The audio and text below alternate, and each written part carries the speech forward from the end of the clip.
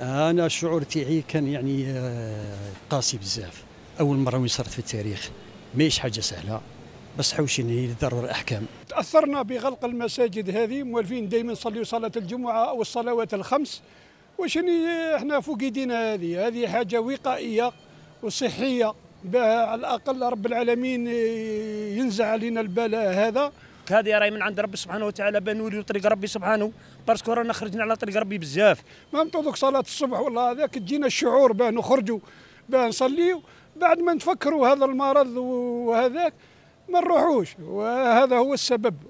أنا نظن حق حتى نتعقب هذا المشاكل هذه وإن شاء الله ربي يرفعها علينا. c'est logique mais لا غالب c'est plus fort que nous تسمى لازم. كما نقولوا حنايا أو لا أكثر من الصلاة. أو كما نقولوا راح تهدي الناس. كما نقولوا حنايا.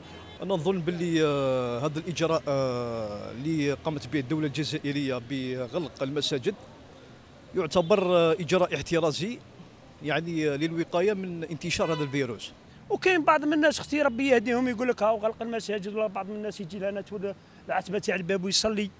إيش هذوك؟ حنا نتبعوا كما قالها ولاة الأمور. كما داروا في الترك.